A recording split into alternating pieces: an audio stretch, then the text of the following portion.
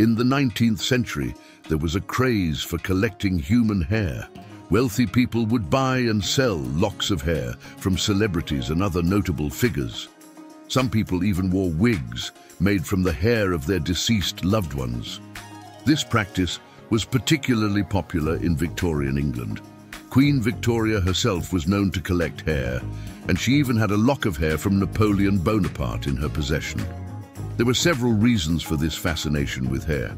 For some people, it was a way to connect with their loved ones. Others were attracted to the beauty and delicacy of hair. And still, others saw it as a symbol of status and wealth. The hair trade was a lucrative one. Hair dealers would travel all over the world to collect hair from different cultures. They would also pay top dollar for the hair of celebrities and other notable figures. The craze for hair eventually died out in the early 20th century. However, it is still a fascinating example of the strange things that people have been obsessed with throughout history.